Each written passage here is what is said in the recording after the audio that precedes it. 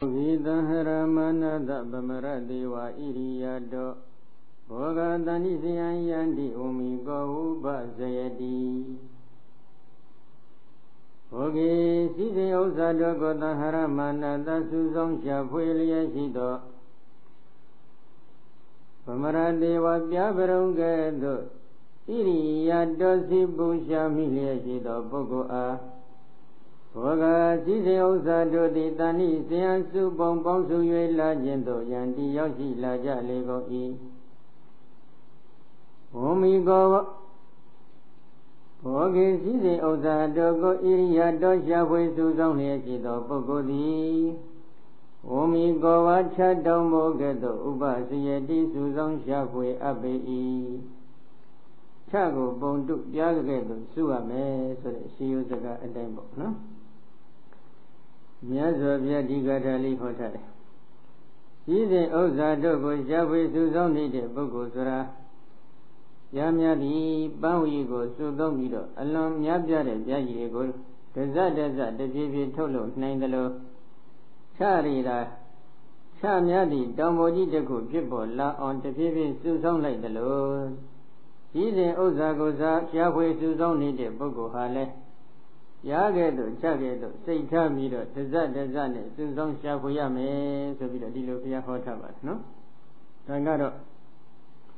လောကကြီးပွားရေးနဲ့ပတ်သက်ပြီးမြတ်စွာဘုရားဟောကြားတော်မူတဲ့တရားဒေသနာတော်များဖြစ်ပါတယ်ဒီနေရာမှာ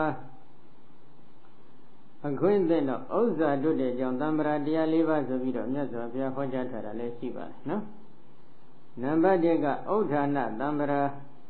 ဒီဘဥစ္စာရှားဖွေစုဆောင်နေတဲ့ပုဂ္ဂိုလ်သည်ထကြွလုံးကဝိရိယနဲ့ပြည့်စုံရ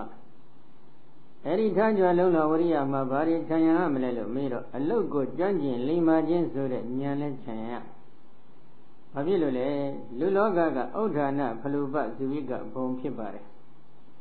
ဥဒ္ဌာဏဖလူပဇီဝိကဘုံဆိုတာကထကြွလုံးကဝိရိယကြောင့်ရရှိနိုင်တဲ့အကျိုးတရားကိုအမိပြုပြီးအသက်မွေးရတဲ့ဘုံဌာနတစ်ခုဖြစ်တယ်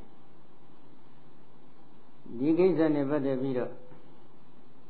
တော်မြို့မှာကန္နာယုံဆရာတော်အကြောင်းနဲ့ဆက်ဆက်ပြီးရေးသားထားတဲ့တဘောသာသနာဆိုတဲ့စာအုပ်ထဲမှာဒီနေ့ဘုန်းကြီးတို့ရဲ့ကျေးဇူးတော်ရင်ဖြစ်တော်မူတဲ့အဘိဓိစ္စမဟာရတ္တဂုရုမစွရင်တော်ဘုရားကြီးကတောင်းမြို့မဟာကန္နာယုံအကြောင်းတိုင်ကြွလာကြွလာတဲ့အချိန်ခါမှာတောင်းမြို့မဟာကန္နာယုံတော်ဘုရားကြီးကလည်း အဆုံးမဩဝါဒများပေးသနာတော်မူပါဆိုပြီးတော့တန်ခပရိသတ်ကိုစူးစောင်းပြီးတော့ဩဝါဒခံယူပါတယ်ထိုဩဝါဒခံယူတဲ့ပွဲမှာမစိုးရင်တော်ဘုရားကြီးကပါမိရှိတယ်လူဆိုတာအလုတ်လုရတယ်ယဟန်ဆိုတာလည်းအလုတ်လုရတယ်လူလောကကအလုတ်လုမှနေလို့ရတဲ့ဘုံဌာနတစ်ခုဖြစ်တယ်ဆိုပြီးအမိရှိတယ်ဘာဥပမာပေးလဲကလေးများဟာမွေးလာတဲ့ကအလုတ်လုရပါတယ် ကလေးဒီမွေးမွေးချင်းဘာအလုပ်လုပ်ရလဲမိခင်ရဲ့နှုတ်ရည်ကိုတောက်သုံးခြင်းဆိုတဲ့လုပ်ငန်းတစ်ခုကိုစတင်ပြီးအလုပ်လုပ်ရတယ်မိခင်ရဲ့နှုတ်ရည်ကိုတောက်သုံးခြင်းဆိုတဲ့လုပ်ငန်းတစ်ခုကိုမှဒီကလေးစတင်ပြီးအလုပ်မလုပ်တော့ဘူးဆိုရင်ဒီကလေးအသက်ရှင်မလားမရှင်ဘူးအဲ့ဒီပုံအချိန်ခါကစပြီးလူလောကဘောတက်လျှောက်ဆိုတာအလုပ်လုပ်ရတယ်လူလဲလူနဲ့တန်တဲ့အလုပ်ယဟန်မှာယဟန်နဲ့တန်တဲ့အလုပ်လုပ်ရပါတယ်အလုံးမလုံးတဲ့ပုဂ္ဂိုလ်ဒီကြီးပွားတိုးတက်မှုဆိုတာဖြစ်နိုင်မှာမလား မဖြစ်နိုင်ဘူးဒီတော့လူလောကမှာလူတွေနဲ့ပတ်သက်တဲ့လုပ်ငန်းတွေကိုဘုရားဟောထားပါပဲယဟန်ကြတော့ယဟန်နဲ့ပတ်သက်တဲ့လုပ်ငန်းရပ်တွေကပါလေလေဂန္ဓဒုရဝိပဿနာဒုရလို့ခေါ်ဆိုတဲ့ဒုရနှစ်ပါးတာဝန်ကြီးနှစ်ခုလုပ်ငန်းရပ်တွေနှစ်ခုရှိပါတယ်ပရိယတိလုပ်ငန်းကိစ္စပฏิပတ်တိလုပ်ငန်းကိစ္စလို့လည်းခေါ်နိုင်ပါတယ်ဒီလုပ်ငန်းနှစ်ရပ်ကိုစနစ်တကျ မပြုစုမပြုထောင်ခဲ့ဘူးဆိုလို့ရှိရင်တို့ယဟန်တော်ဒီသာသနာတော်မှာကြီးပွားတွတ်တဲ့နိုင်တဲ့ယဟန်တော်တစ်ပါးဖြစ်နိုင်ပါမလားမဖြစ်နိုင်ဘူးနော်ဒါကြောင့်လူလောကဆိုတာကဥဒ္ဒနာဘလူပဇဝိကအကုန်ထကြွလုံလဝရိယကိုအခြေတည်ပြီးတော့ကြိုးစားအထုတ်လို့ရရှိတဲ့အကျိုးတရားတွေကိုအမိပြုပြီးတော့အတည်မှုရတဲ့ဘုံဖြစ်ပါတယ်ငရဲဆိုတဲ့ဘုံမျိုးပေါ့ဒီလိုဘုံတွေကြတော့ ကံဤမကောင်းတဲ့အကုသိုလ်ကံရဲ့အကျိုးတရားကိုတက်တက်ထိုင်ပြီးတော့ခံစားနေရတဲ့ဘုံဖြစ်တယ်။နတ်ပြည်ပြမပြည်တွေကြတော့လေကောင်းမှုကုသိုလ်ကံရဲ့အကျိုးတရားတက်တက်ကိုထိုင်ပြီးတော့ခံစားနေရတဲ့ဘုံဖြစ်တယ်။ဒါကြောင့်ဒီငရဲဘုံတို့နတ်ပြည်မြမပြည်တို့ဆိုတဲ့ဘုံတွေကိုတော့ကာမဖလူပဇီဝိကဘုံလို့ခေါ်တယ်မိမိတို့ပြုစုပြောထောင်တတ်တဲ့ကံရဲ့အကျိုးတရားကိုတက်တက်ထိုင်ပြီးခံစားနေတဲ့ဘုံပဲဒီတော့ပုဂ္ဂိုလ်တရားကြီးပွားချမ်းသာတယ်ဆိုတဲ့နေရာမှာ လူပြည်လူလောကကဥဒ္ဌာဏဖလူပသီမိကဘုံပြင်းချင်းကြောင့်ထကြွလုံးလဝရိယကိုအခြေတည်ပြီးတော့ကြိုးစားရမယ်သဘောရှိရှိလိုက်တဲ့အချိန်ကကျတော့ဒီလိုဆိုရင်ကံမပါတော့ဘူးလားလို့မေးစရာရှိပါတယ်နော်ကံဉဏ်ဝရိယသုံးပါလုံးစုံရမှာဖြစ်ပါတယ်အဓိကပြုစုပြုထောင်ခဲ့တဲ့ကံလည်းရှိတယ်ပြစ္ဆုတ်ပံမှာကြိုးစားအထုတ်တဲ့လုံလဝရိယလို့ခေါ်ဆိုအပ်တဲ့ပြစ္ဆုတ်ပံလုပ်ငန်းကိစ္စကံလည်းရှိတယ် အဲဒီကံတစ်ခုမှာဉာဏ်ဆိုတဲ့စွမ်းအားတစ်ခုခြံရံထားခဲ့မယ်ဆိုရင်သူပုဂ္ဂိုလ်ဒီကြီးပွားတွတ်တဲ့နိုင်တဲ့သဘောရှိတယ်အတိတ်ကပြည့်စုံပြုထောင်ထားတဲ့ကံကအပြော့နေပြီဆိုရင်တော့ပြစ္ဆုတ်ဘာမှာပြည့်စုံပြုထောင်နေတဲ့ထကြွလုံလဝရိယအခြေတည်ပြီးပြည့်စုံပြုထောင်လိုက်တဲ့ကံတွေကဉာဏ်ချမ်းချမ်းရန်ထားကြမယ်ဆိုရင်အထိုက်လျောက်တော့အကျိုးပေးပါတယ်နော်ဒါကြောင့် အဲဒီလိုအကျိုးပေးနိုင်တဲ့စွမ်းကိုရည်ရွယ်ပြီးတော့ဘုရားရှင်ကဩဒတဝိန္ဒေတေတနံဘုဒ္ဓတထကြွလုံလဝရိယာရှိတဲ့ပုဂ္ဂိုလ်သည်တဏ္ဍစည်းစိမ်ဥစ္စာကိုဝိညာဉ်တေရရှိနိုင်ပါပေ၏ဒီလိုဟောထားတယ်။ဘာမှမလုပ်ဘူးလူမလုံးလနတ်မမနိုင်ဘူးလုံလဝရိယလျှော့ချတဲ့ပုဂ္ဂိုလ်တွေကိုနတ်တွေတောင်းမှလိုက်ပြီးမလို့ရသေးလားမရဘူး ပြီးတော့လုံလဝရိယနဲ့ထကြွလုံလဝရိယနဲ့ပြည့်စုံရမယ်လူမလုံးလနတ်မမဘူးဆိုတာကဇတ်တော်လေးတစ်ခုရှိပါတယ်ယတိကြီးတစ်ဖက်ကဒေါဒေါတစ်ခုထဲမှာသတင်းသုံးနေတယ်ဒီပါဇက်ကိုအဘိညာဉ်အစရှိတဲ့လောက်ကြီးအဘိညာဉ်လေးလည်းရရှိတော်မူတဲ့သူတော်ကောင်းတူဖြစ်ပါတယ်ထိုယတိကြီးကိုတရားမင်းကလည်းမကြာခဏလာပြီးတော့စိတ်ကနေတယ်စိတ်ကတဲ့အချိန်ခါမှာ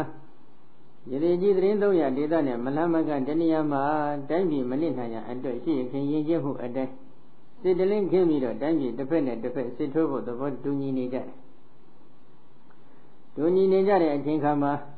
စမခင်းခင်မှာတစ်ဖက်နဲ့တစ်ဖက်ယတိကြီးကိုဘယ်သူကနိုင်မလဲဘယ်သူကရှုံးမလဲဆိုပြီးတော့သွားပြီးတော့မင်းများလျှောက်ထားကြတယ်အဲဒီအချိန်ခါမှာတရားမင်းကြီးကလည်းဘယ်ဘက်ကနိုင်လိမ့်မယ်ဆိုပြီးတော့ယတိကြီးကိုလျှောက်ထားတဲ့အတွက်ယတိကြီးကလည်းမှတ်သားထားလိုက်ပါတယ် နှစ်ဖက်စိတ္တိတွေကလာပြီးတော့မင်းများလျှောက်ထားကြတယ်အေးဘယ်ဘက်ကတော့ရှုံးလိမ့်မယ်တစ်ဖက်ကတော့ရှုံးလိမ့်မယ်တစ်ဖက်ကနိုင်လိမ့်မယ်ပေါ့အဲဒီလိုဆိုတဲ့အခါကျတော့နိုင်မယ်ဆိုတဲ့ဘက်ကသူတို့သိဝမ်းသာသွားတယ်ရှုံးမယ်ဆိုတဲ့ဘက်ကတို့တို့တိတ်တိတ်နဲ့တိုင်ပင်ကြတယ်ကဲတို့ဘယ်နဲ့လုပ်လဲစစ်တို့တို့ဘက်ကရှုံးမယ်ပြောနေတယ်တို့အညံ့မခံဘူးပြီးတော့ကဲအသေးကတသားတွေရွေးကြဆိုပြီးတော့ရွေးချယ်လိုက်ရှင်မင်းကနေရှိကဥဆောင်တယ် အသေးကတသားတွေအလုံးရွေးချယ်ရွေးချယ်ပြီးတဲ့အချိန်ကကျတော့ယတိကြီးကိုသွားပြီးတော့သူတို့အကျိုးကြောင့်မင်းများလျှောက်ထားကြည့်တယ်တစ်ဖက်စစ်တီတွေကနိုင်မယ်ဆိုတော့ဘယ်လိုအကြောင်းတရားတွေကြောင့်နိုင်မလဲလို့မေးကြည့်တော့တစ်ဖက်ရှင်မင်းရဲ့ဆင်ကိုလိုက်ပြီးစောင့်ရှောက်ပေးမဲ့နတ်ကိုမင်းတို့ဘက်ကရှင်မင်းကိုလိုက်ပြီးစောင့်ရှောက်မဲ့နတ်ကသိကြောက်နေတယ်အဲဒါကြောင့်စောင့်ရှောက်တဲ့နတ်ကကြောက်နေတဲ့အတွက်မင်းတို့ဆင်ထွက်ပြေးလို့ရှိရင်မင်းတို့ရှင်မင်းရှုံးနေမယ်ဟိုဘက်ကဒီလိုအသိပေးတယ် အသိပေးတော့အဲ့ဒီအသေးကံတသားတွေကမလုပ်တယ်တစ်ဖက်ကဆင်ကိုစစ်မထိုးဘူးအဲ့ဒီဆင်ဘေးမှာစောင့်နေတဲ့နတ်ရှိတယ်လို့အာရုံယူပြီးတော့အဲ့ဒီဆင်ဘေးကိုပဲလေးတွေမြတ်တွေနဲ့အသေးခံပြီးတော့တင်းတအားနင်းပြီးတော့တိုက်ကြတာတိုက်လိုက်တဲ့ကဟိုဘက်ကစောင့်နေတဲ့နတ်ကလည်းကြောက်ပြီးတော့လန့်ပြီးထွက်ပြေးရောထွက်ပြေးတော့စောင့်နေတဲ့နတ်လည်းပြေးဟိုဘက်ကဆင်လည်းရှုံးပြီးပြေးတော့တာပဲနော်ဘာဖြစ်လို့လဲဆိုတော့ဟိုတစ်ဖက်ကသူတို့နိုင်မယ်လို့ကျင်းသိထားတဲ့အတွက်သူတို့ကလုံးလကြိုးစားအထောက်မှု မရှိဘူးတစ်ဖက်ကတော့ရှုံးမယ်လို့သေချာနေတဲ့အတွက်တို့ကြိုးစားအထောက်မှဖြစ်မယ်ဆိုပြီးတော့တအားကြိုးစားကြတာအသေးခံပြီးတော့ကိုကြိုးစားတယ်အဲ့ဒီခါမှာအောင်ပွဲရသွားအောင်ပွဲရတဲ့ရှုံးတဲ့ဘက်ကနေရေသေးကြီးထံသွားပြောပြီးအေးငါလည်းတရားမင်းကြီးပြောလို့ပဲငါလည်းပြောရတာပဲဆိုတော့တရားမင်းကြီးလာတဲ့အခါအကျိုးကြောင့်မင်းကြီးလိုက်တော့အရှင်ဘုရားတစ်ဖက်ကလုံလဝရိယလျှော့ထားတယ်လူမလုံးလာတော့နတ်လည်းမလို့မရဘူးဆိုပြီးတော့ဆရာထားသွားတယ်နော် ဒါကြောင့်လောကမှာကြီးပွားရေးရှားဖွေစုဆောင်းနေတဲ့ပုဂ္ဂိုလ်တွေဟာလုံလဝရိယရှိဖို့မလိုဘူးလားလိုအပ်အဲဒီလုံလဝရိယမှာအသိအလိမ္မာဉာဏ်ပညာလို့ခေါ်ဆိုအပ်တဲ့မိမိလုံရှားဖွေနေတဲ့လုပ်ငန်းရတဲ့ပတ်သက်ပြီးကျွမ်းကျင်လိမ္မာခြင်းဆိုတဲ့ဉာဏ်တစ်ခုခြံရံထားဖို့တော့လိုအပ်တယ်ပြစ္ဆုတ်ပံကံလို့ခေါ်ဆိုအပ်တဲ့လုံလဝရိယနဲ့ကြိုးစားအထုတ်မှုလည်းရှိပြီးကျွမ်းကျင်လိမ္မာမှုဆိုတဲ့ဉာဏ်လည်းရှိပြီး အတိတ်ကကံလေးကလည်းအပေထောက်ပံ့လိုက်မယ်ဆိုလို့ရှိရင်ပယောဂတံပတ္တိစက်တွေကလည်းပြည့်စုံလာပြီဆိုရင်တော့ထိုပုဂ္ဂိုလ်ကြီးပွားချမ်းသာမယ်ဒါကြောင့်ဥဒ္ဓတဝိန္ဒတိတဏဥဒ္ဓထထကြွလုံလာဝရိယရှိနေတဲ့ပုဂ္ဂိုလ်သည်တဏံစည်းစိမ်ဥစ္စာကိုဝိန္ဒတိရရှိနိုင်ပါ၏လောကကြီးမှာသာထကြွလုံလာဝရိယရှိတဲ့ပုဂ္ဂိုလ်ကဒီလိုစည်းပွားဥစ္စာရနိုင်သလားဆိုတော့မဟုတ်ပါဘူးလောကုတ္တရာကြီးရမှာလည်းဒီတိုင်းပဲဒါဝရိယတတိသမာဓိပညာခေါ်တဲ့ ဣန္ဒြေ၅ပါးဘော၅ပါးစွန့်အင်ကြီး၅ပါးပြည့်ဝစုံညီနေတဲ့ပုဂ္ဂိုလ်တွေဒီသာလျင်လောကုတ္တရာတရားသူတရားမြတ်ကိုရနိုင်ပါတယ်အဲ့ဒီစွန့်အင်ကြီး၅ခုထဲမှာဝရိယလည်းတစ်ခုအပါအဝင်မဖြစ်ဘူးလားဖြစ်နေတယ်ဒါကြောင့်လုံးလဝရိယဆိုတာရှိဖို့လိုအပ်ပါတယ်နော်နောက်တစ်ခုနံပါတ်2အာရခသံ္မရာတဲ့ မိမိရှားဖွေရရှိတဲ့ဇီဝဥစ္စာတွေကိုမပြောက်မပြတ်အောင်ဘယ်ပုံဘယ်ပန်းဘယ်နည်းလမ်းအဖြစ်ထိမ့်သိမ်းစောင့်ရှောက်ရမယ်ဆိုတဲ့နည်းစနစ်ကောင်းနေတတ်တည်နားလည်ဖို့လိုတယ်ထိမ့်သိမ်းစောင့်ရှောက်တတ်ဖို့လည်းလိုအပ်တယ်ခေဘောနီအမျိုးမျိုးနဲ့ပဲဖြစ်စေရှစ်ခင်ဟောင်းနည်းစနစ်အမျိုးမျိုးနဲ့ပဲဖြစ်စေမိမိတို့ဇာရှားဖွေစုဆောင်ထားတဲ့ဒီစည်းစိမ်ဥစ္စာတို့ကိုရေမိမိခိုးသူဆိုတဲ့ မကြည့်မနစ်တဲ့သူဆိုတဲ့ရန်သူငါးတန်တို့ဖြစ်စည်းလို့မရနိုင်အောင်ထိမ့်သိမ်းစောင့်ရှောက်တတ်တဲ့စွမ်းအင်ရှိဖို့လိုတယ်အဲ့ဒီလိုထိမ့်သိမ်းစောင့်ရှောက်တဲ့သံ္မာရာကိုတော့အာရခသံ္မာရာလို့ခေါ်တယ်နောက်နံပါတ်3ကတော့ကလျာဏမိတ်တတာမိတ်ကောင်းဆွေကောင်းရှိဖို့လိုတယ်ဒီဘဥစ္စာတစ်ခုကိုရှာဖွေတဲ့အခါမှာဒီလုပ်ငန်းရက်နဲ့ပတ်သက်ပြီးကြွန့်ကျင်အောင်ညွှန်ကြားပြသ ကိုညီရိုင်းပင်ပေးမဲ့မိကောင်းဆွေကောင်းဆရာကောင်းတမကောင်းဆိုတာလိုအပ်ပါတယ်တို့ဆရာကောင်းတမကောင်းမိကောင်းဆွေကောင်းတို့ရဲ့ညွှန်ကြားချက်ကိုမူတည်ပြီးတော့မိမိတို့ကကြိုးစားအထောက်တတ်တဲ့ဉာဏ်လေးရှိခဲ့မယ်ဆိုရင်ကြီးပွားနိုင်တယ်ဒီနေရာမှာအလုံးကြားဖို့ကြလိမ့်မယ်ဗါတဲ့လေကြွက်တည်တခုအရင်ပြုတယ်ဆိုတဲ့ထုံးလေးပဲဒီနေ့ဘုရားလံဘုံသားကြီးကနန္ဒကိုခါစားဖို့ရအတော်လန့်ခုလာတဏှာမကြွက်တည်တကောင်တွေ့တော့နက်ခတ်ကိုလှမ်းကြည့်လိုက်တဲ့အခါ ဩပညာရှိတဲ့ယောက်ျားဟာဒီကြွက်တဲ့တစ်ခုကိုအရင်ပြုတ်ခဲ့မယ်ဆိုရင်ကြီးပွားချမ်းသာနိုင်တယ်လို့ဒီစကားလေးတက်ခွန်ပြောလိုက်တယ်။ပုံနာကြီးကပညာရှိသူတော်ကောင်းဖြစ်တော့ဒီပုံနာကြီးဟာမတိပဲနဲ့ပြောတာတော့မဟုတ်ဘူးဆိုပြီးတော့အနမ်းမှ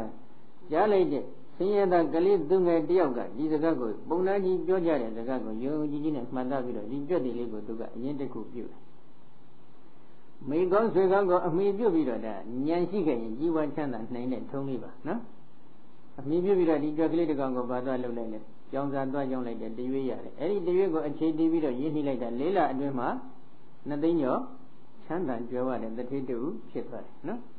ဒါဟာမိကောင်းဆွေကောင်းတို့ရဲ့ညွှန်ကြားချက်ကိုယုံကြည်ချက်တရားတရားအပြည့်အဝဖြင့်ကြိုးစားအထုတ်လိုက်လို့လည်းရရှိတဲ့ချမ်းသာဒုက္ခတစ်ခုပဲနော်နောက်နံပါတ်လေးကတော့သမဇီဝိတာဝင်ငွေနဲ့ထွက်ငွေကိုမျှမျှတတ်တတ်သုံးဆွဲတတ်တဲ့စွမ်းအား ရှိရမယ်ဝင်ငွေကနည်းနေတဲ့ထွက်ငွေကများပြီဆိုရင်တော့ဘာဖြစ်မလဲဟမ်မွဲဖို့တာပြင်ပြီးတော့ပဲဟုတ်တယ်မဟုတ်လားရှိနေတဲ့ရှိတဲ့ဥစ္စာတွေအကုန်လုံးပြုတ်တော့မယ်ဒါကြောင့်ဘုရားရှင်ပြထားတဲ့ဤစနစ်ကတော့မိမိရှားဖွေစုဆောင်းလို့ရရှိတဲ့စီးပွားဥစ္စာကိုလေးပုံပုံလိုက်ပါတဘုံကိုအကြောင်းကိစ္စရှိတဲ့အချိန်ကမှအသုံးပြုရန်ဆိုတဲ့ရည်ရွယ်ချက်ဖြင့်မြုပ်နှံထားသို့မဟုတ်သိသိထား တဘုံကိုဇာသုံးပါအဲ့ဒီဇာသုံးတဲ့အထက်ကလူပါတန်းပါနှစ်ဘုံကိုတော့ယဉ်နှီးပါဆိုပြီးဒီလိုအကြံဉာဏ်ပိတ်ထားနော်အဲ့ဒါသမဇဝိတာပဲညီညီမြမြမြမြတတ်တာဖြစ်အောင်အတမွေးတတ်ခြင်းပဲဒါဥစ္စာစည်းစိမ်ကြီးပွားတိုးတက်ဖို့ရတိုးတက်ဖို့အကြောင်းသံဃာတရားလေးပါဆိုပြီးတော့မြတ်စွာဘုရားဟောထားတယ်နော်အဲဒီတော့ဒီနေရာမှာခုဟောနေတာကအနာကုလကမ္မန္တ ရောရှိရှုပ်ထွေးတဲ့လုပ်ငန်းရက်တွေမရှိရဘူးအလွတ်တစ်ခုကိုပြုလုပ်တဲ့အချိန်ခါမှာမင်္ဂလာရှိတဲ့ပုဂ္ဂိုလ်ကလောကီရေးမှာပဲဖြစ်စေလောကုတ္တရာရေးမှာပဲဖြစ်စေလုပ်ငန်းတစ်ခုကိုလုပ်ရင်ရောရှိရှုပ်ထွေးခြင်းကျင့်နေရမယ်တန်တန်ရှင်းရှင်းစနစ်တကျပြုလုပ်တတ်ရမယ်ဓမ္မကြီးပွားချမ်းသာနိုင်တယ်လောကုတ္တရာဘိုင်းမှာဆိုလို့ရှိရင်သီလကျင့်စဉ်ကိုကျင့်ပြီးဆိုရင်တကယ်စင်စင်ကြဲကြဲနဲ့တန်တန်ရှင်းရှင်းဖြူဖြူစင်စင်ဖြစ်ကြမှာ။အိုရောရောကြောက်ရောရောမဖြစ်ပါသေးနဲ့။ သမာဓိကျင့်စဉ်ကိုဖြစ်ခြင်းပြီဆိုရင်လည်းတကယ်စင်စင်ကြဲကြဲဖြူဖြူစင်စင်နဲ့ဖြစ်ခြင်းပါ။အောင်မြင်အောင်ကြိုးစားပါ။အိုးအရောရောကြောက်အရောရောတွေမဖြစ်စေနဲ့။ပညာကျင့်စဉ်ကိုတကယ်ကျင့်ပြီဆိုလို့ရှိရင်လည်းတကယ်ဖြူဖြူစင်စင်နဲ့အထက်တန်းကြကြမြင့်မြင့်မြတ်မြတ်ဖြစ်အောင်ဖြစ်ကြပါ။အိုးအရောရောကြောက်အရောရောမလုပ်ပါနဲ့နော်။တကယ်လက်တွေ့သီလကျင့်စဉ်သမာဓိကျင့်စဉ်ပညာကျင့်စဉ်တွေကိုရောချက်ရှုပ်ထွေးမှုမရှိပဲ ဖြူဖြူစင်စင်ဖြစ်ခြင်းခဲ့မယ်ဆိုလို့ရှိရင်မိမိတို့မျှော်လင့်တောင်းတနေတဲ့လောကုတ္တရာတရားသူတရားမြတ်ဆိုတာပါရမီအားလျော်စွာရနိုင်ပါတယ်နော်။အေးအလားတူပဲလောကကြီးပွားရေးမှာလဲလုပ်ငန်းတွေကိုရောရှက်ရှုပ်ထွေးအောင်ပြုလုပ်ခဲ့မယ်ဆိုရင်လုပ်ငန်းရဲ့ကြီးပွားတိုးတက်မှုဆိုတာမဖြစ်နိုင်ဘူးအကယ်ရောရှက်ရှုပ်ထွေးမှုမရှိပဲတဏ္ဍန်ရှင်းရှင်းနဲ့ပြုလုပ်နိုင်မယ်ဆိုလို့ရှိရင်ရနိုင်တဲ့အကျိုးချမ်းသာဒုက္ခ၄မျိုးမြတ်စွာဘုရားဟောထားတယ်နော် ဟောအင်္ဂုတ္တစရုပ်ကနိဗ္ဗာန်မှာမြတ်စွာဘုရားဟောထားပါတယ်သတ္တရိမာနိကပတိဒုက္ခနိအတိကမနိယာနိဒီဟိနာကမဘောဂိနာကာလိနာကာလံသမယေနသမယဥပဒါယဒါကြတော့ကာမဂုဏ်ကိုခံစားနေတဲ့လူသားတို့တင့်တယ်လျောက်ပတ်တဲ့တစ်ချိန်မှာရတဲ့ရတဲ့တဲ့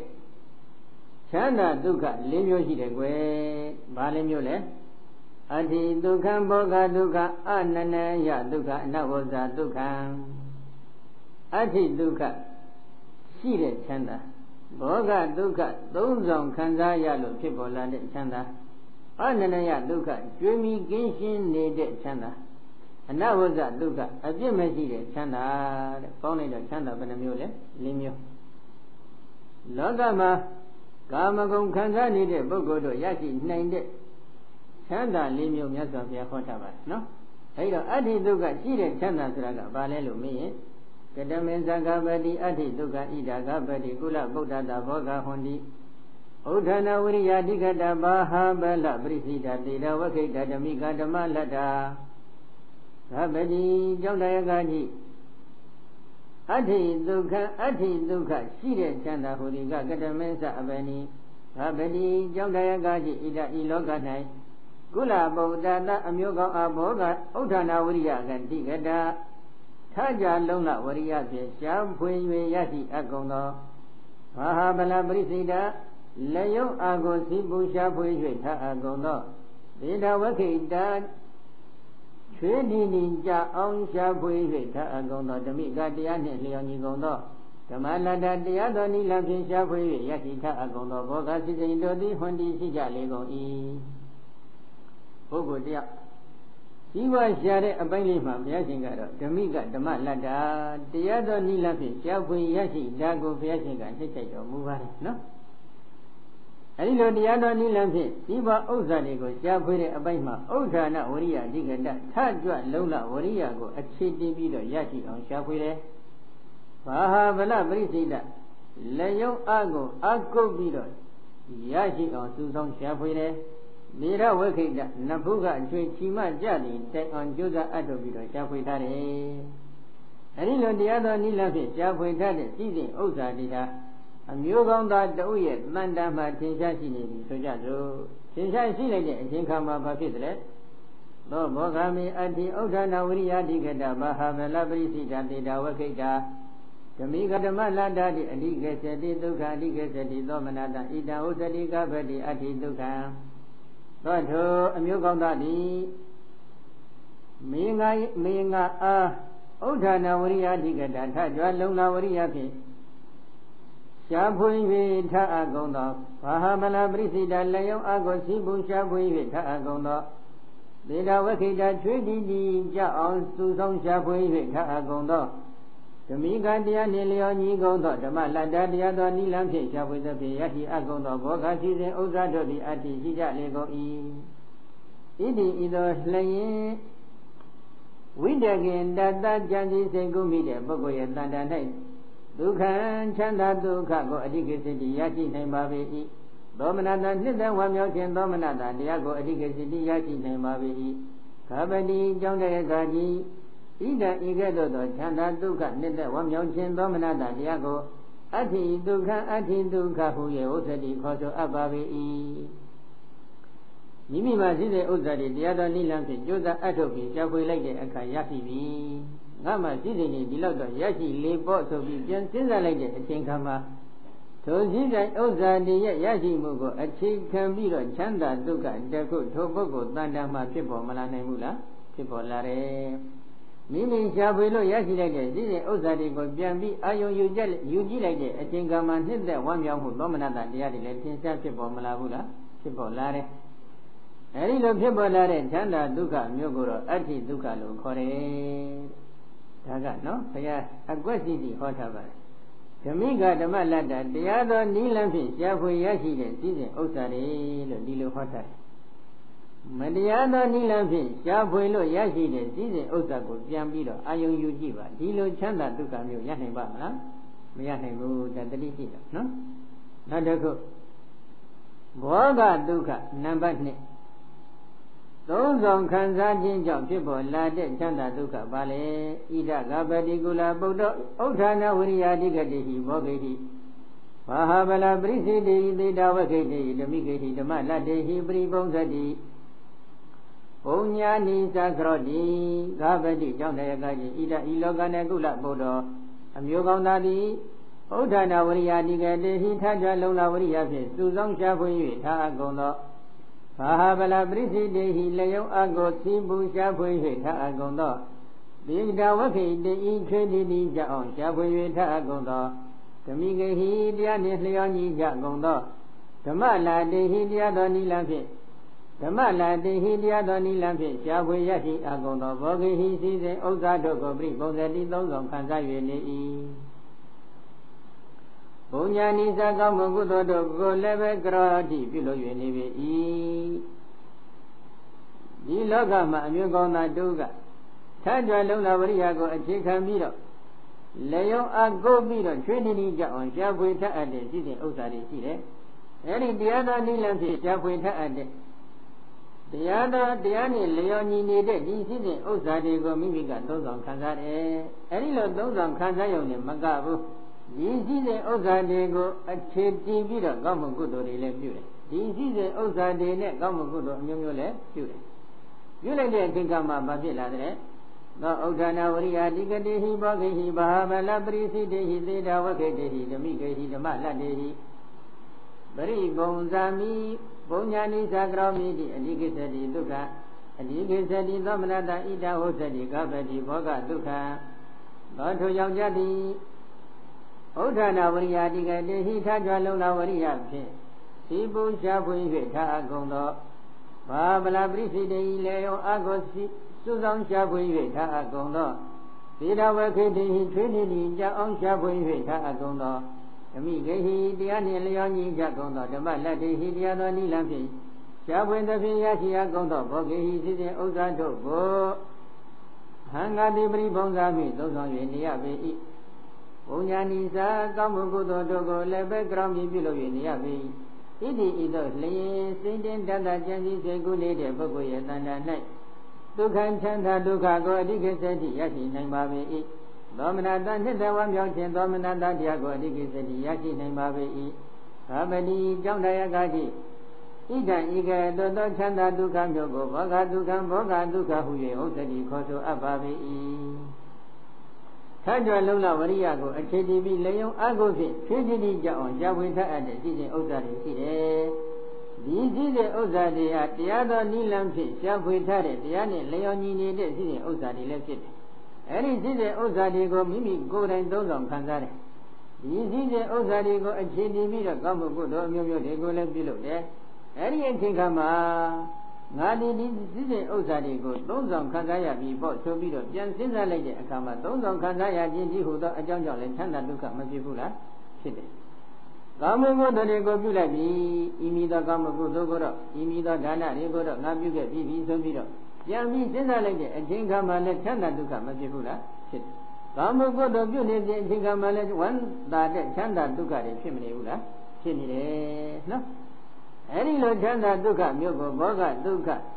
ကြီးစိမ်ဥစ္စာတို့ကိုသုံးဆောင်ခံစားခြင်းကြောင့်ရရှိလာတဲ့ချမ်းသာဒုက္ခလို့ခေါ်တယ်နော်အဲဒီဒုက္ခမျိုးဟာတန်ဖိုးရှိပါတယ်နော်ဘယ်လိုတန်ဖိုးရှိလဲသေကဏိကလရောက်ပြီဆိုကြပါစို့ ဒီလိုကောင်းမှုကုသိုလ်ကံတစ်ခုကအကျိုးပေးတော့မယ်ဆိုရင်ဒီကဏိကလမှာမဖြစ်လာတယ်အကျိုးပေးမဲ့ကံရဲ့စွန့်ရင်တတ္တိကြောင့်နမိတ်တွေထင်လာတတ်ပါတယ်နော်ဘယ်ပုံဘယ်ပတ်ဗဏိယအဖြစ်ဒီနမိတ်တွေထင်တယ်ဥပမာဘုရားကိုစီမိလှူခဲ့တယ်ဆိုကြပါစို့စီမိလှူတဲ့ပုံစံခဲ့တဲ့ကံလေးကအကျိုးပေးတော့မယ်ဆိုရင်ဒီကံဤကလမှာဒီစီမိတွေကိုဇီရီရောအတ္တပလှူဒန်းနေတဲ့အာယုန်နမိတ်တွေပြန်ပြီးတော့ထင်နေတတ် အေးတန်ဃာတော်များကိုတန်ဃာလှူခဲ့တယ်ဆိုကြပါစို့ဒီတန်ဃာနေကြီးတွေဖဏတ်တွေလှူခဲ့တဲ့ကံတွေကအကျိုးပေးတော့မယ်ဆိုရင်ဒီကံဤကလမှာဒီကံရဲ့စွန့်ရင်တတ်တည်ကြောင့်တန်ဃာလှူနေတဲ့ပုံတွေတော့လည်းပြန်ထင်နေထင်တတ်သို့မဟုတ်အသက်တပံပြန်ပြီးတော့တငန်းလှူဒန်းပူဇော်ခြင်းဆိုတဲ့ကောင်းမှုကုသိုလ်တွေကိုပြုနေတဲ့ပုံတန်တအနေထားအဖြစ်လည်းဒီကံဤကလမှာရှင်းနေတတ်တယ်အဲ့ဒီအချိန်ကမှဒီကံလေးတွေဟာမိမိအတွက်အလွန်အကုသိုလ်တဲ့ကံတစ်ခုဖြစ်မနေဘူးလား ဖြစ်နေတယ်ဒါဟာဘာဖြစ်လို့လဲဆိုတော့တရားတော်တိလဖြင့်ရှားဖွေရရှိတတ်တဲ့စိစဉ်ဥစ္စာတွေကိုမိမိလည်းသုံးဆောင်တယ်ကောင်းမှုကုသိုလ်တွေကိုလည်းစနစ်တကျပြုစုပြုထောင်တယ်ဒီလိုစနစ်တကျပြည့်စုံပြည့်ထောင်ခြင်းကိုဘောဂဒုက္ခလို့ခေါ်တယ်ဒီဘောဂဒုက္ခကိုအခြေခံပြီးတော့ရရှိတဲ့ချမ်းသာတစ်မျိုးပဲနော်နောက်တစ်ခုနံပါတ်3အနနယဒုက္ခကျွေးမရှိရတဲ့ချမ်းသာပဲ အဲဒီကျွေးမရှိတဲ့ချမ်းသာနဲ့ပတ်သက်ပြီးတော့မြတ်စွာဘုရားဘယ်လိုဟောထားလဲဣဒဂဗတိကုလဗုဒ္ဓနာဂတသိကိဉ္စီဓာရိတိအဘဝဘဟုဝါသဗ္ဗတိကြောင့်တရားကားကြီးဣဒဤလောက၌ကုလဗုဒ္ဓအမျိုးကောင်းသားသည်ကတ္တစီတဇောတခုသောကတ္တစီတဇောတရားသောပုဂ္ဂိုလ်အားကိဉ္စီတဇောတခုသောအပ္ပဝနေတိမူလီဖြစ်သောဘဝမြတ်တိမူလီဖြစ်သောကိဉ္စီတဇောတခုသောဇိဝဥစ္စာကိုနဒါရိတိဆောင်းယူ၍ပြည့်စရာမလို လောကမှာပုဂ္ဂိုလ်တယောက်အမျိုးကောင်းသားတို့ပေါ့နဲနဲများများဘယ်ပုဂ္ဂိုလ်မှသွားပြီးကျွင်းဆက်နေကြမလိုဘူးကျွင်းဆောင်ယူပြီးပြည့်စရာပြုနေပွဲအကြောင်းမရှိဘူးသောနာဂတတိကိဉ္စီဓာရိမိအဘဝဘဝတိစိအတိကေသတိဒုက္ခသောဒုပဂောတိအဟံဂါတိကတ္တစီသောတရားသောပုဂ္ဂိုလ်ဟာအဘဝနေတိမူလီဖြစ်သောဘုံဝါမြတ်တိမူလီဖြစ်သောကိဉ္စီသောနိကိုသောစိပါဥစ္စာကို နတာရေမိဆောင်ယူ၍ပြည့်ကြမလို့ဝါကျွေးဆက်ရမလို့ဣတိဤသို့လျင်စိတ်တင်းတတ်တာကြံစည်စေကုနေတဲ့ပုဂ္ဂိုလ်ရဲ့တဏ္ဍာ၌ဒုက္ခချမ်းသာဒုက္ခကိုအတိကိစ္စတိရရှိနိုင်ပါပေ၏သောမနတနှစ်တဝမြောက်ခြင်းသောမနတတရားကိုအတိကိစ္စတိရရှိနိုင်ပါပေ၏ဤတံဤကတောသောချမ်းသာဒုက္ခဤတံဤကတောသောချမ်းသာဒုက္ခမျိုးကိုအနန္တယဒုက္ခ သိမြင်ကင်းရှင်းနေတဲ့ချမ်းသာဒုက္ခမျိုးဟု၍ဥစ္စတိခေါ်ဆိုအပ်ပါပေ၏မိမိမှာတွင်းဆက်เสียဘာမှမရှိဘူးပြန်စဉ်းစားလိုက်တဲ့အချိန်ခါမှာလက်သက်မှုဝမ်းမြောက်မှုတရားတွေပေါ်လာတယ်ကျွေးကြီးကင်းရှင်းခြင်းကြောင့်ဖြစ်ပေါ်လာရတဲ့ချမ်းသာဒုက္ခတစ်မျိုးပဲကျွေးတင်နေပြီဆိုလို့ရှိရင်ကျွေးတင်တဲ့ပုဂ္ဂိုလ်အတွက်မှာဘာဖြစ်မလဲဒီကျွေးတွေတော့ငါဆက်ရတော့မယ်ဆိုပြီးတော့အမြဲတမ်းပူပန်မှုတွေဖြစ်မနေရဘူးလားဖြစ်နေရ နောက်တစ်ခုကျွေးမဆက်နိုင်တဲ့အတွက်စိတ်ကြီးရခြင်းဆိုတဲ့ဒေါမနတာတရားတွေလည်းသင်္ချာမဖြစ်ရဘူးလားဖြစ်ရတယ်ကျွေးခြင်းတို့ကိုကျွေးမဆက်အချိန်တန်တဲ့အချိန်ကမှကျွေးမဆက်နိုင်ခြင်းကြောင့်ကျွေးခြင်းတွေရဲ့ကျိန်မောင်ဆက်စုမှုဆိုတဲ့ဒီအကုဒီယုံရင်ကြတဲ့သဘောတရားတွေကိုလည်းမခံစားရဘူးလားခံစားရအေးဒီတဲ့မှာမနေနိုင်ဘူးဆိုလို့ရှိရင်ကျွေးခြင်းတွေကနေကျွေးမရတဲ့အတွက်တရားဆွဲဆိုမယ်ဆိုလို့ရှိရင်လေ ဥပရိလမ်းကြောင်းအရာမိမိဟာအရေးယူခံရတဲ့အဆင့်အထိဆင်းရဲဒုက္ခမရောက်နိုင်ဘူးလားရောက်နိုင်တယ်ဒါပေမဲ့ကျွေးမြီကင်းရှင်းနေတဲ့ပုဂ္ဂိုလ်မှာအဲ့ဒီလိုဆင်းရဲဒုက္ခမျိုးတွေရရှိနိုင်အောင်မလားမရတော့ဒီလိုဆင်းရဲဒုက္ခမရတဲ့အပြင်တုတ်မှာကျွေးကင်းခြင်းကိုအကြောင်းပြုပြီးတော့ချမ်းသာတဲ့ဝမ်းသာတဲ့ဒုက္ခတွေရရှိနိုင်တယ်အဲ့ဒီလိုချမ်းသာတဲ့ဒုက္ခဝမ်းသာတဲ့ဒုက္ခမျိုးကိုတော့ အာနနယဒုက္ခလို့ဒီလိုခေါ်ပါတယ်နော်နောက်တစ်ခုနံပါတ်၄ဒုက္ခကတမေဇဂဗတိအနဝဇဒုက္ခဣဒဂဗတိရိယတဝကအနဝဇေနာကာယကမေနာသမနာကတောဟောတိအနဝဇေနာဝဇေကမေနာသမနာကတောဟောတိအနဝဇေနာမနောကမေနာသမနာကတောဟောတိဂဗတိကြောင့်တရားကတိအနဝဇဒုက္ခအပြစ်မရှိတဲ့သံသာဟောတိကတမေဇအဘယ်နိ ဘာပတိကြောင့်တရားကတိဣဒဤလောက၌အရိယတာဝကောအရိယဖြစ်တော်မူသောငါပြတိဣတိတာဝကတိအနဝဇေနာကာယကမေနအပြစ်မရှိသောကာယကနှင့်သမဏဂတောပြည့်စုံ၏အနဝဇေနာကာယကံမေနအပြစ်မရှိသောကာယကံနှင့်သမဏဂတောပြည့်စုံသည်ဟောသည်ဖြစ်၏အနဝဇေနာဝစီကံမေနအပြစ်မရှိသောဝစီကံနှင့်သမဏဂတောပြည့်စုံသည်ဟောသည်ဖြစ်၏ အနဝဇေနာမနောကံမေနအပြစ်မရှိသောမနောကံနှင့်သမဏဂတောပြည့်စုံသည်ဟောသည်ဖြစ်၏လောကမှာကြည့်လိုက်မယ်ဆိုရင်ငါဘုရားရှင်ရဲ့တပိသာဝကတူအရိယာဖြစ်တော်မူသောငါဘုရားရှင်ရဲ့တပိသာဝကတူပြန်ကြည့်လိုက်ပါအပြစ်ကင်းရှင်းနေတဲ့စင်ကြယ်နေတဲ့ကာယကံနေတဲ့ပြည့်စုံတယ်အပြစ်ကင်းရှင်းနေတဲ့စင်ကြယ်တဲ့ဝစီကံနေနဲ့လည်းပြည့်စုံတယ် အပြစ်ကင်းရှင်းနေတဲ့စင်ကြယ်တဲ့မနောကံနေနဲ့လည်းပြည့်စုံနေတယ်ကာယကံစင်ကြယ်မှုရှိတယ်ဝစီကံစင်ကြယ်မှုရှိတယ်မနောကံစင်ကြယ်မှုရှိနေပြီနော်သောအနဝဇံအနဝဇေနမိကယကမေနသမဏကတောအနဝဇေနဝစီကမေနသမဏကတောအနဝဇေနမနောကမေနသမဏကတောတိအဓိကိစ္စတိဒုက္ခအနိငေသတိသမဏတဣဒဥစ္စတိကပတိအနဝဇဒုက္ခ သောထိုပုဂ္ဂိုလ်သည်အဟ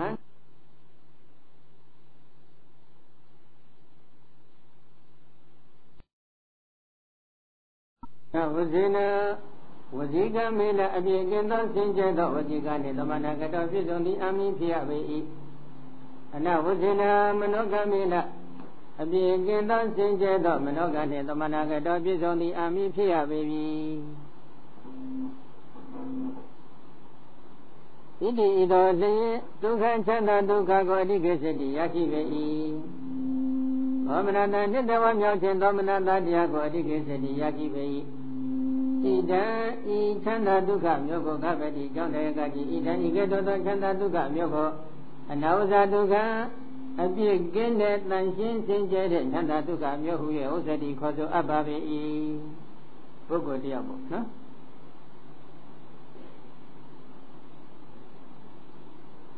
မိမိကကာယကံစင်ကြယ်မှုလည်းမရှိဘူးဝစီကံတွေကစင်ကြယ်မှုလည်းမရှိဘူးမနောကံစင်ကြယ်မှုကလည်းမရှိဘူးကာယကံစင်ကြယ်မှုမရှိဘဲနဲ့ပစ္စည်းဥစ္စာတွေကိုစုဆောင်ရှာဖွေထားတယ်ဝစီကံစင်ကြယ်မှုမရှိဘဲပစ္စည်းဥစ္စာတွေကိုစုဆောင်ရှာဖွေထားတယ်မနောကံစင်ကြယ်မှုမရှိဘဲနဲ့လည်းပစ္စည်းဥစ္စာတွေကိုစုဆောင်ပြီးတော့ရှာဖွေထားပြီ အဲ့တော့ဒီလိုမစင်မကြယ်ဘဲနဲ့ရှာဖွေစုဆောင်ထားတဲ့ပစ္စည်းတွေဖြစ်နေမယ်ဆိုရင်အဲ့ဒီပစ္စည်းတွေကိုတတိယတဲ့တတိယတဲ့သို့ရှာဖွေမှုကိုပြုတဲ့ပုဂ္ဂိုလ်မှာစိတ်ချမ်းသာမှုဒုက္ခဆိုတာဖြစ်နိုင်ပါမလားမဖြစ်နိုင်ဘူး။ဩငါဒီလိုခိုးရခိုးပြီးတော့ငါဒီလိုတတ်ပြီးတော့ငါဒီလိုလွတ်ရပြီးတော့ဒီစည်းဝဥစ္စာတွေငါရှာဖွေထားတာပဲငါဒီလိုမှုသားပြောပြီးတော့ငါတို့လိုဒီလိုဂုံးတက်ပြီးတော့ဒီစည်းတဲ့ဥစ္စာတွေရှာဖွေထားတာပဲစသည်ဖြင့် မိမိရရှိတဲ့စည်းဝဥစ္စာတွေကိုပြန်အာရုံယူလိုက်တဲ့အချိန်ခါမှာမတရားသောနည်းလမ်းဖြင့်ရှားဖွေတတ်တဲ့ပစ္စည်းဥစ္စာတွေဖြစ်နေပြီဆိုရင်ထိုပစ္စည်းဥစ္စာတွေကိုအခြေခံပြီးတော့ဒုပုဂ္ဂိုလ်ရဲ့တဏ္ဍာမှာချမ်းသာမှုဒုက္ခဆိုတဲ့သဘောတရားဖြစ်ပေါ်လာနိုင်ပါမလားမလာနိုင်ဘူးတဲ့တတိရှိဖို့သိကောင်းတယ်နော်ဒီကနေ့ကာလမှာသူတို့ကဒုက္ခပြီးမဲ့တရားတွေဖြစ်နေအဲဒီဥစ္စာစည်းစုံစည်းပွားတော့မရှားပါဘူးဒီပြီးတော့ကခုလို တရားဘာဝနာတွေကိုကြည်ဉာဏ်ချုပ်ကိုပေါ့များအထုံနေတဲ့သူတော်ကောင်းတွေဖြစ်ကြပါတယ်ဆိုရင်ကောမိမိတို့သူတော်ကောင်းဘဝကိုကုလာတဲ့အချင်းကကနေစပြီးတော့ကာယကံစင်ကြယ်မှုတွေရှိဖို့လိုတယ်ဝစီကံစင်ကြယ်မှုတွေရှိဖို့လိုတယ်မနောကစင်ကြယ်မှုတွေလည်းရှိဖို့မလိုဘူးလားလိုအပ်တယ်သင်္ခါရိကာလတော့ဖို့တစ်ချိန်ဆိုကြပါစို့တော့ဖို့တညမိမိရဲ့ကာယကံတွေကိုပြန်ပြီးဆန်းစစ်ကြည့်လိုက်တယ်မိမိရဲ့ကာယကံတွေကလည်းစင်ကြယ်မှုမရှိဘူးမိမိရဲ့ဝစီကံတွေကိုမိမိပြန်ပြီးဆန်းစစ်ကြည့်လိုက်တယ် ဝစီကံတွေစင်ကြယ်မှုမရှိဘူးဒီနေ့ငါပူသားတွေပြောမိပြီဂုံးတိုက်တဲ့စကားတွေငါပြောမိပြီကျမ်းတဲ့စကားတွေငါပြောမိပြီပင်ဖြစ်တဲ့စကားတွေငါပြောမိပြီဆိုပြီးပြန်တတိရလိုက်ရင်စိတ်ချမ်းသာမှုဒုက္ခဖြစ်နိုင်ပါမလားမဖြစ်နိုင်ဘူးဒါတတိရှိဖို့လိုတယ်နော်ငါကွယ်ဒီနေ့ကိုဘလို့ပဲငါဒေါသတကြီးနဲ့ပြောလိုက်မိတာငါတော့မှားသွားတယ်ဆိုပြီးတော့စိတ်ထဲမှာစိတ်မချမ်းသာမှုတစ်ခုထပ်ပြီးပေါ်မလာနိုင်ဘူးလားပေါ်လာနိုင်တယ်ဒါကြောင့်တတိသိရှိဖို့လိုတယ် ကာယကံစင်ကြယ်မှုတွေအမြဲတမ်းရှိနေဖို့လိုတယ်ဝစီကံစင်ကြယ်မှုတွေအမြဲတမ်းရှိနေဖို့လိုတယ်မနောကစင်ကြယ်မှုတွေလည်းတအပ်သမျှအမြဲတမ်းရှိနေဖို့လိုအပ်ပါတယ်။ဘာဖြစ်လို့လဲ။သိခြင်းတရားဆိုတာကနေ့ရညရမဟုတ်အချိန်မျိုးသိနေတဲ့သဘောရှိပါတယ်။အဲဒီလိုသိခြင်းပြည့်စည်သွားတဲ့အချိန်ကမှမိမိပြည့်စုံပြောထောင်ထားတဲ့ကံဒီကိုကုသိုလ်ကံမဲ့ဖြစ်ဖြစ်အကုသိုလ်ကံမဲ့ဖြစ်ဖြစ်ဒုက္ခနေကိုယ်သာလည်းမိမိကရင်ဝယ်ပိုက်ကျွေးပြီးတော့ဘဝကိုအဆုံးသတ်မှာဖြစ်တယ်အဲ့ဒီချိန်ကမှ မတော်တဆမိမိပြုစုပြုတော်တတ်တဲ့အကုသိုလ်ကံတစ်ခုကအမ္မပါဠိတို့လို့ပေါ့နော်အမ္မပါဠိထေရီမအလောင်းတို့လို့မကောင်းတဲ့ဝစီတွင်းချက်တစ်ခုကအကျိုးပေးဖို့ရအခါခွင့်သင့်လာပြီဆိုရင်မိမိတို့အပယ်လေးဖို့မရောက်နိုင်ဘူးလားရောက်နိုင်တယ်အေးရှင်သာရိပုတ္တရာရှင်မမောက္ကလန်တို့ကိုပြင်ပတဲ့အရှင်ကောကာလိကတို့လို့မူမမှန်တဲ့ဝစီကံတစ်ခုကနေပြီးတော့အကျိုးပေးဖို့ရအခါခွင့်သင့်လာပြီဆိုလို့ရှိရင်လည်းအပယ်လေးဖို့မရောက်နိုင်ဘူးလားရောက်နိုင်တယ်ဒါကြောင့် မိမိတို့ရဲ့သေတဲ့အချိန်ခါမှာမိမိရဲ့သီလကိုပြန်ပြီးဆန်းစစ်ကြည့်လိုက်တဲ့အချိန်ခါမှာကာယကံစင်ကြယ်မှုရှိနေဖို့လိုတယ်ဝစီကံစင်ကြယ်မှုတွေရှိနေဖို့လိုတယ်မနောကံစင်ကြယ်မှုတွေရှိနေဖို့လိုပါတယ်အဲဒီလိုစင်ကြယ်နေတဲ့အချိန်ခါမှာဘဝတခုအဆုံးသတ်ရမယ်ဆိုရင်မိမိရဲ့စင်ကြယ်နေတဲ့ကိုကျင့်သီလတွေကိုအာယုံယူပြီးတော့နှစ်သက်ခြင်းဝမ်းမြောက်ခြင်းဆိုတဲ့ဒီသဘောတရားတွေချမ်းသာခြင်းဆိုတဲ့ဒုက္ခတရားတွေပေါ်မလာနိုင်ဘူးလားပေါ်လာနိုင်တယ်ဒီနေရာမှာဘုန်းကြီးသတိရတော့ ထုံးလင်းတစ်ခုထပ်ပြောပါမယ်နော်ခဏခဏတော့ပြောမှုပါတယ်နာဘူးထမှန်မယ်နော်ဘုန်းကြီးတို့ရဲ့သာသနာတော်အတွင်းမှာငါးနှစ်တာအရွယ်မှာရဟန္တာဖြစ်သွားတဲ့မထေရတစ်ပါးရှင်းရှင်းရှားရှားရှိခဲ့ပူပါတယ်အဗရံပါဠိတော်မှာကတော့လင်္စသီလသမာဒာနိယမထေဆိုပြီးတော့ဒီလိုမှတ်တမ်းတင်ထား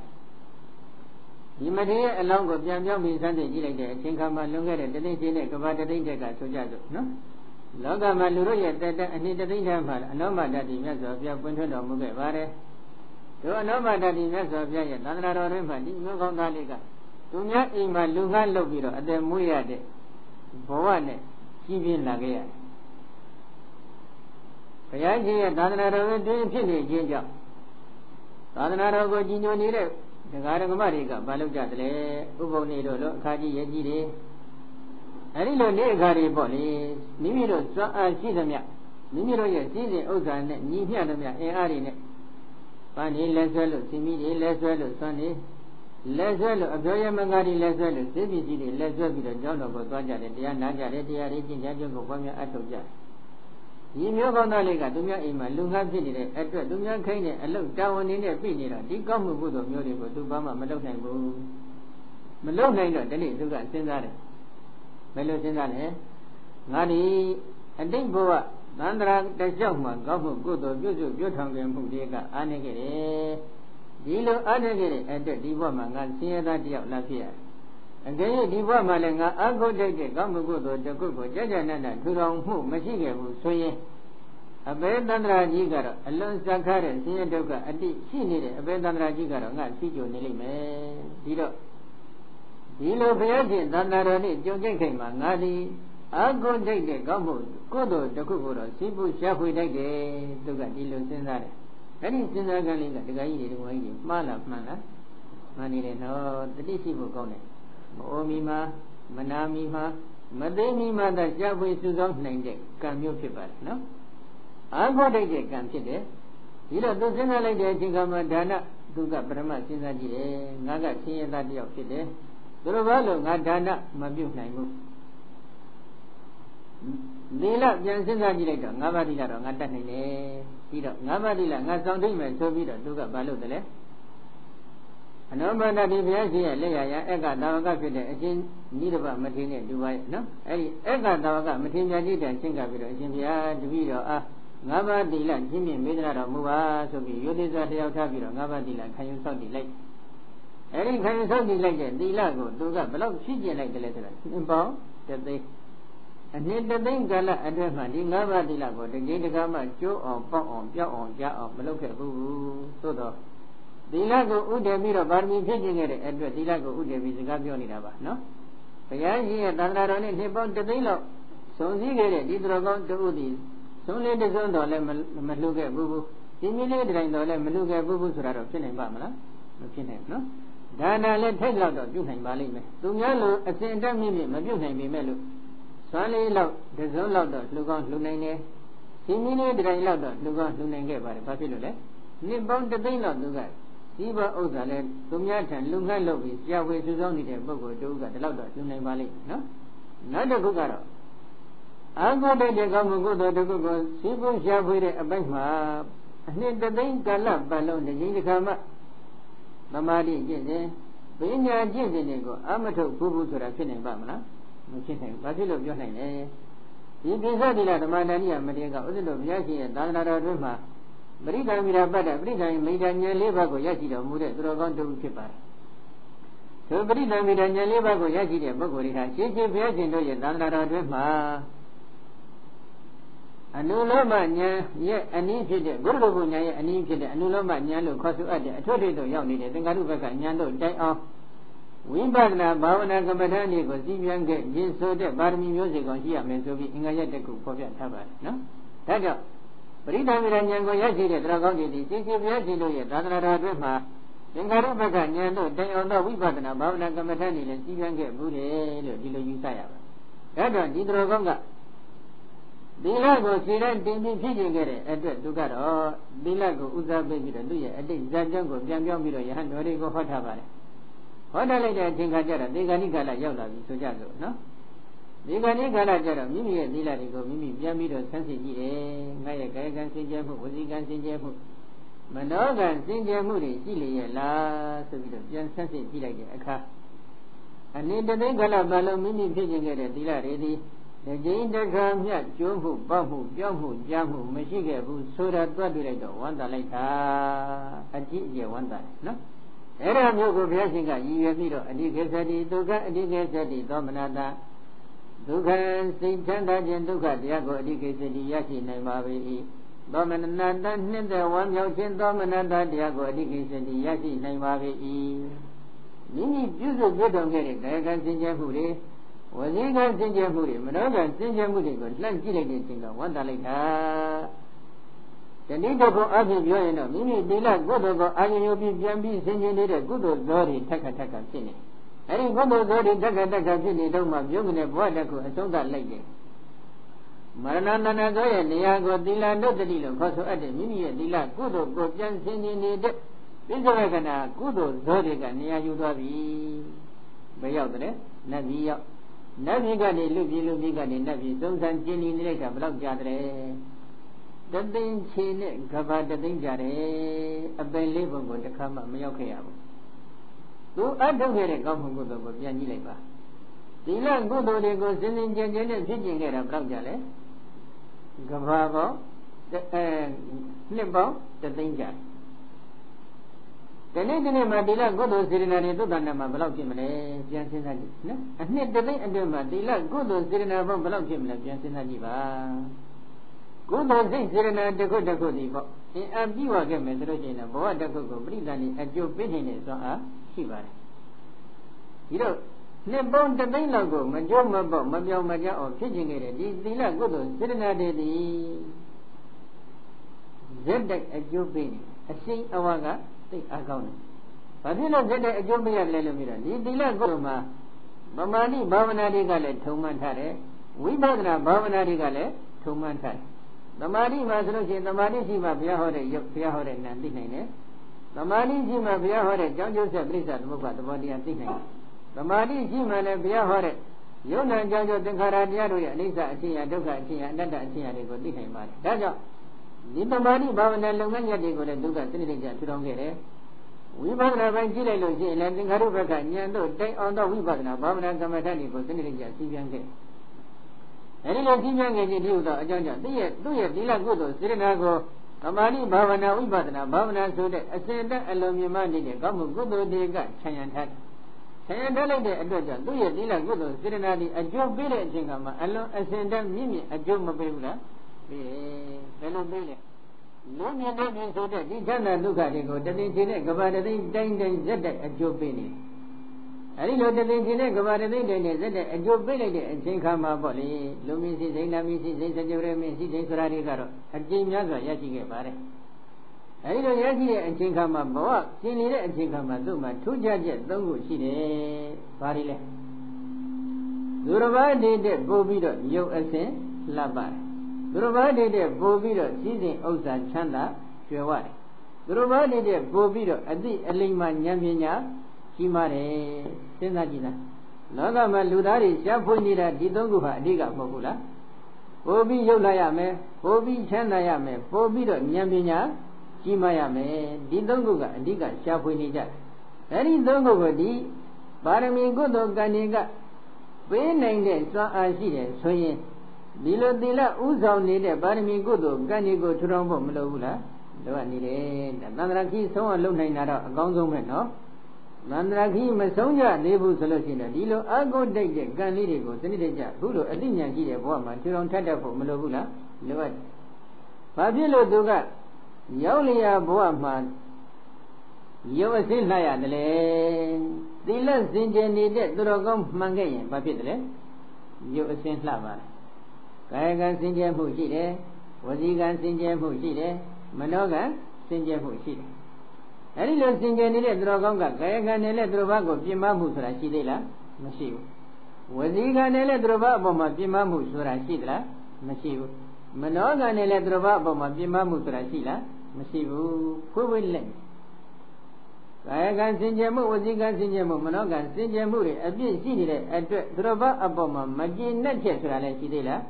မရှိဘူးသူတော်ဘာတွေကိုယွန်ရှာမုန်းကြည့်တယ်ဆိုတဲ့စိတ်ဓာတ်တွေလည်းရှိသေးလားမရှိဘူးဒါကြောင့်သီလတော်ဒုက္ခိတသီလကြောင့်ချမ်းသာဒုက္ခချမ်းသာတဲ့ကိုယ်ဤချမ်းသာခြင်းစိတ်ဤချမ်းသာခြင်းဆိုတဲ့ဒီဒုက္ခတွေရရှိ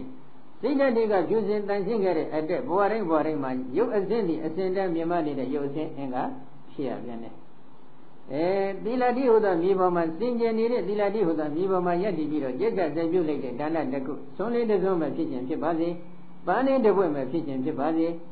ရှင်မီးလေးတိုင်ပဲဖြစ်ခြင်းဖြစ်ပါစေဒီဒါနကုသိုလ်ကံဒီသီလတိဟုသောမြေပေါ်မှာယက်တည်ပြီးကြက်ကြက်ဆက်ပြုတ်လိုက်တဲ့အတွက်ဒါနာတော်ဘောဂဝါဆိုသည့်အတိုင်းစည်းစိမ်ဥစ္စာများပြားခြင်းဆိုတဲ့အကျိုးတရားကိုမပေးနိုင်ဘူးလားပေးနိုင်တယ်အရှင်တို့ဒါကိုဆွနေဆွလောင်းတော်လောင်းလူခဲ့ဘူးတဲ့အိန္ဒကနန္ဒကြည့်ပေါ့နော်အိန္ဒကနန္ဒရဲ့စွန့်အိမ်တွေဟာဟို တစ်ဆက်နေသနာအရက်ကိုဘုကနောင်ချင်းဆက်ပြီးတော့လှူဒန်းခဲ့တဲ့အင်္ဂုရနန္ဒရဲ့အလှူဒါနတဲ့ပေါ်ပြီးအစဉ်အတန်းမြင့်နေတာမတွေ့ရဘူးလားတွေ့ရတယ်သာသနာတော်တွင်မှာသူကကြက်ကြက်စိုက်ပြုခဲ့တဲ့ဒါနဖြစ်ပါတယ်ဒါကြောင့်ဒီဒါနကုသိုလ်ကံစေတနာတွေကစင်ကြယ်နေတဲ့သီလတိဟုသောမြေပေါ်မှာယက်တည်ပြီးကျင့်ချစိုက်ပြုခဲ့တဲ့ဘုံညခေတ္တလို့ခေါ်ခေါ်ဆိုအပ်တဲ့ကောင်းမှုဒီဟုသော မျိုးစဉ်ကိုကျင့်ကြစိတ်ပြုရာဖြစ်တဲ့လေယာမြေကောင်းဖြစ်နေတဲ့သာသနာတော်အတွင်းမှာလည်းကောင်းမှုကုသိုလ်ပြုခွင့်ရခဲ့တယ်ကျင့်ကြစိတ်ပြုခွင့်ရခဲ့တယ်အဲဒီကောင်းမှုကုသိုလ်ဒါနကုသိုလ်ကံစီရယာတွေမှာအစဉ်တည်းအလွန်မြင်မနေတဲ့သမထဘာဝနာဝိပဿနာဘာဝနာဆိုတဲ့ကုသိုလ်တွေကခြံရံထားပြန်တယ်ခြံရံထားတဲ့အတွက်ဒီဒါနကုသိုလ်ဟာလည်းအလွန်အစဉ်တည်းမြင့်နေတဲ့ဒါနကုသိုလ်တစ်ခုဖြစ်ရပြန်တယ်အစဉ်တည်းမြင်မနေတဲ့ဒါနကုသိုလ်ဖြစ်ခြင်းကြောင့်ရောက်လျာဘဝမှာသူတော်ဘာတဲ့ပို့ပြီးတော့စည်းစိမ်ဥစ္စာချမ်းသာကြွယ်ဝတယ် နောက်တစ်ခုသူတော်ဘာတဲ့ပို့ပြီးတော့ဉာဏ်ပညာကြီးတယ်ဘာကြောင့်လဲသူစည်းဖို့ရှာဖွေခဲ့တဲ့ပညာမျိုးစိလေးကိုပြန်ပြီးစဉ်းစားကြည့်ပါနော်ခန္ဓာအိမ်မှာယုတ်ကလအမှောင်လေးတွေနဲ့တိဆောက်ထားတယ်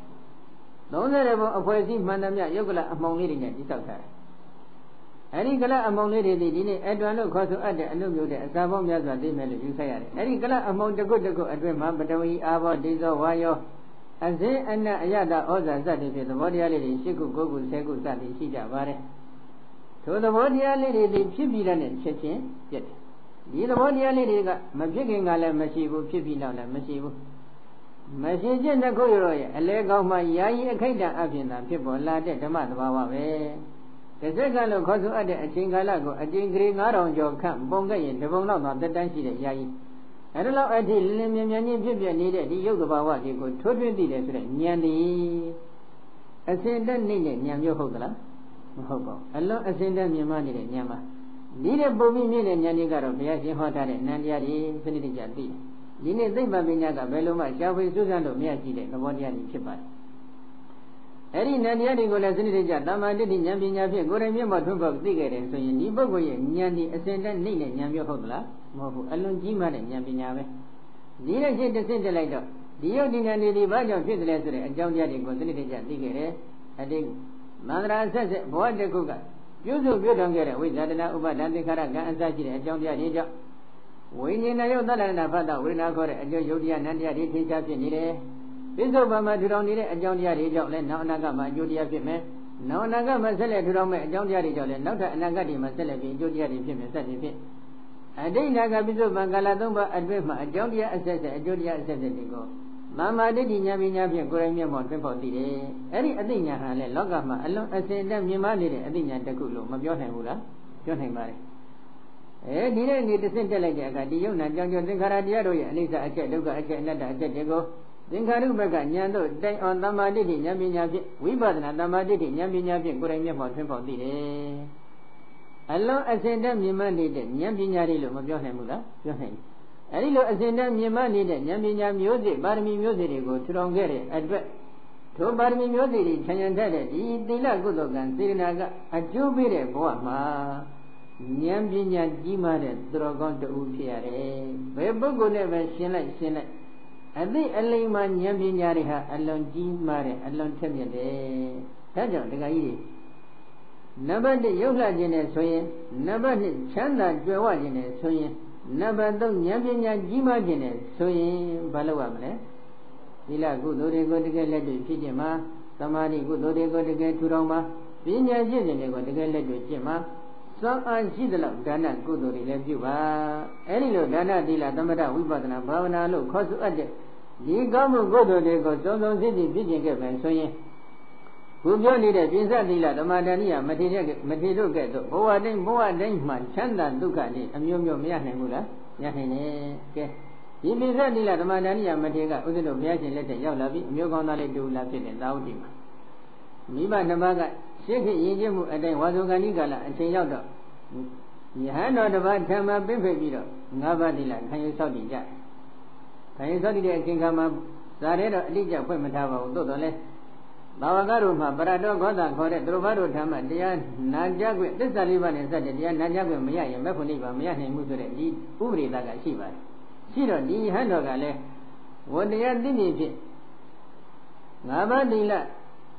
ရှင်းမြင်ပြီးတဲ့အချိန်ခါမှာသစ္စာလေးပါးနဲ့စတဲ့တရားစကားများဆက်လက်ပြီးဟောကြားတော်မူတယ်လို့ယူဆရပါတယ်နော်အဲ့ဒီအချိန်ခါမှာဒီကလေးလေးကငါးနှစ်သားအရွယ်ပဲရှိသေးတယ်မိမနှစ်ပါးသီလစောင့်တည်နေတဲ့အချိန်ခါမှာအနန္တထိုင်ပြီးတော့နတ်ထောင်နေတယ် နတ်ထောင်လိုက်တဲ့အချိန်ခါမှာငါးပါးသီလမိဘမိဘတွေစောင့်တည်တဲ့အတန်လဲကြလိုက်တော့ဟိုးတသိန်းချင်းနဲ့ကဘာတသိန်းချက်ကမိမိစောင့်တည်ထားတဲ့ငါးပါးသီလချက်ချင်းသွားပြီးသတိရဝမ်းသာလိုက်တာဝမ်းသာတဲ့ပိဋိသောမနတတရားတွေထင်ရှားဖြစ်နေတော့ထိုရဟန်းတော်ကလည်းသမထကျင့်စဉ်သီလကျင့်စဉ်သမာဓိကျင့်စဉ်ပညာကျင့်စဉ်လို့ခေါ်ဆိုအပ်တဲ့သစ္စာလေးပါးနဲ့စတဲ့တရားစကားတွေကိုအစဉ်တည်းဟောကြားပြတာဆွဆုံးမှတော်မူလိုက်တဲ့အတွက် ထိုတိုင်းအတွက်မှာပဲထိုကလေးကလည်းဝိပဿနာဘာဝနာကမ္မဋ္ဌာန်းကိုသိပြနိုင်တဲ့အတွက်အရတ္တကိုပြီးသွားတယ်ငါးနှစ်သားအရွယ်မှာအရတ္တမညာဘုံညာအထိရရှိတယ်ဆိုရင်ဒီလိုဉာဏ်ပညာမျိုးဒီအလွန်ကြီးကျယ်တဲ့ဉာဏ်ပညာမျိုးမဖြစ်နိုင်ဘူးလားဖြစ်ပါတယ်ဒါဘာကြောင့်လဲဘဝတစ်ခုမှာကာယကံစင်ကြယ်မှုဝစီကံစင်ကြယ်မှုမနောကံစင်ကြယ်မှုတွေရှိအောင်အထွတ်ထိပ်သို့ရောက်အောင်ဖြစ်ကျင်ခဲ့တယ်ဖြစ်ကျင်ခဲ့တဲ့အတွက်ဘာဖြစ်လဲ သောအနဝဇံအနဝဇေနမိကာယကမေနသမနာကတောအနဝဇေနဝစီကမေနသမနာကတောအနဝဇေနမနောကမေနသမနာကတောတိအနိကေစတိဒုက္ခအနိကေစတိသောမနတဣဒဝဇတိကပတိအနဝဇဒုက္ခသောထိုအမျိုးကောင်းသောသည်အဟံဃာတိအနဝဇေနအပြစ်မရှိသောစင်ကြယ်သောကာယကံမေနကာယကံနှင့်သမဏဂတောပြည့်စုံရလိအာမိဖြစ်ရပေပြီအနဝဇေနဝစီကံမေန အပြည့်ကင်းသောစင်ကြယ်တန်ရှင်းသောဝစီကံနှင့်သမဏဂတောပြည့်စုံရလိအာမိဖြစ်ရပေပြီအနဝဇေနမနောကံမေနအပြည့်ကင်းသောစင်ကြယ်တန်ရှင်းသောမနောကံနှင့်သမဏဂတောပြည့်စုံရလိအာမိဖြစ်ရပေပြီဣတိဤသောလျင်စိန်တင်တသကြံစီစိတ်ကုခက်သည်ရှိသောစိတ်တင်တော့ကြံစီစိတ်ကုခက်သည်ရှိသောဒုက္ခချမ်းသာဒုက္ခကိုအတိကိစ္စတိရရှိနိုင်ပေ၏သောမနာတံနှစ်တဝမြောက်ခြင်းသောမနာတတရားကိုအတိကိစ္စတိရရှိနိုင်ပါပေ၏ သောတတိကြောင့်တရားကကြီးဣဒံဤကဲ့သို့သောချမ်းသာဒုက္ခမျိုးကိုအနဝဇာဒုက္ခအပြည့်ကင်းသောချမ်းသာဒုက္ခမျိုးဟု၍ဥစ္စတိခေါ်ဆိုအပ်ပါပေ၏ဒီလိုချမ်းသာမျိုးကိုတော့အနဝဇ္ဇဒုက္ခအပြစ်ကင်းရှင်းနေတဲ့ချမ်းသာဒုက္ခလို့ခေါ်တယ်။ပေါင်းလိုက်တော့ချမ်းသာဒုက္ခဘယ်နှမျိုးလဲ။၄မျိုးနံပါတ်1ကအဋ္ဌိဒုက္ခစီးပွားဥစ္စာရှိတယ်လို့အာယုယုပြီးဖြစ်ပေါ်လာရတဲ့ချမ်းသာဒုက္ခ နံပါတ်2ကဘောဂဒုက္ခစီးစိမ်ရှားဖွင့်ထားတဲ့စီးစိမ်ဥစ္စာတွေကိုသုံးဆောင်ခံစားခြင်းကြောင့်ရရှိလာတဲ့ချမ်းသာဒုက္ခဒီစီးစိမ်ဥစ္စာတွေကိုလှူရမ်းလိုက်ခြင်းကြောင့်ရရှိလာတဲ့ချမ်းသာဒုက္ခနံပါတ်3ကအာနအနနယအာနနယဒုက္ခကျွေးမြီကင်းရှင်းခြင်းကြောင့်ဖြစ်ပေါ်လာရတဲ့ချမ်းသာဒုက္ခနံပါတ်4ကအနဝဇ္ဇဒုက္ခ ကာယကံစင်ကြယ်မှုဝစီကံစင်ကြယ်မှုမနောကံစင်ကြယ်မှုရှိခြင်းကြောင့်အပြစ်ကင်းရှင်းနေတဲ့အတွက်ဖြစ်ပေါ်လာရတဲ့ချမ်းသာဒုက္ခအဲ့ဒီချမ်းသာဒုက္ခ၄မျိုးကိုမြတ်စွာဘုရားကဂါထာလေးနဲ့ဆက်ပြီးဟောတယ်နော်အာနနယဒုက္ခညတဝါဒအထောအဋ္ဌိဒုက္ခပရံဘုံဇံဘောဂဒုက္ခမေသောတတောပညာယတတောပညာဝိပတ္တိအာနနယဒုက္ခ